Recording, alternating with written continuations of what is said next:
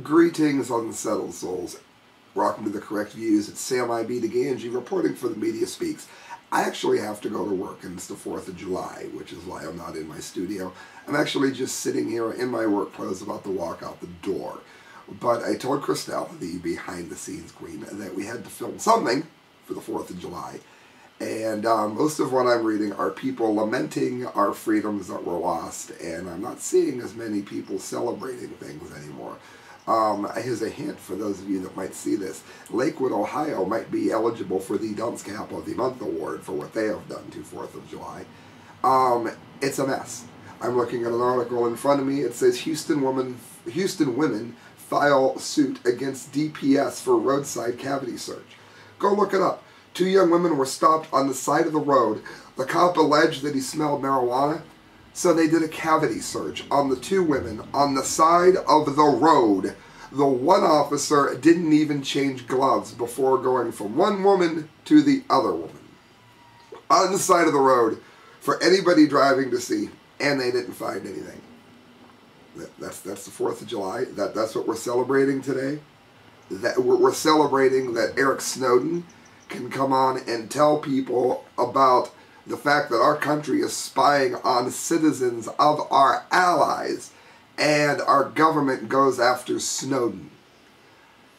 I guess this is another video about lamenting freedoms that were lost, but that's not the way I'm looking at this video. This to me is a lot more about us saying, hey, we do still have a couple Eric Snowdens. We do still have women that will go ahead and fight back at the police and sue the police department.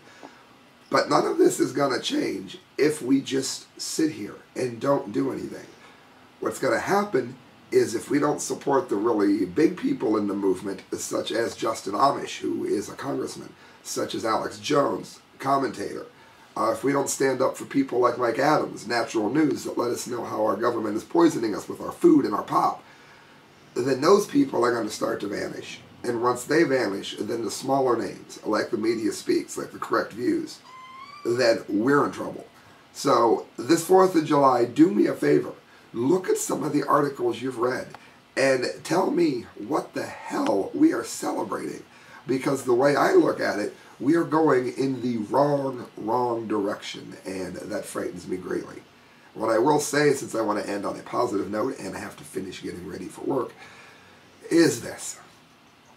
Go out, I'm not saying don't don't have any burgers. I'm not saying don't have any hot dogs or some beer. I'm saying tell at least one other person about this channel.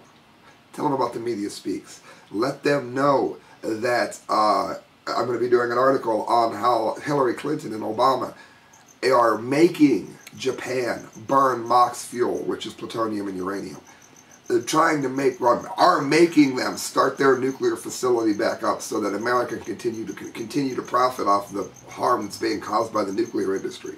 Tell somebody about something like this at your barbecue. Wake people up on the 4th of July. And above all else, I hope you have a very nice 4th. Good night, friends. God bless. Thanks for listening. Please donate if you can and click on Nitro Pack on the Media Speaks thing. Thanks.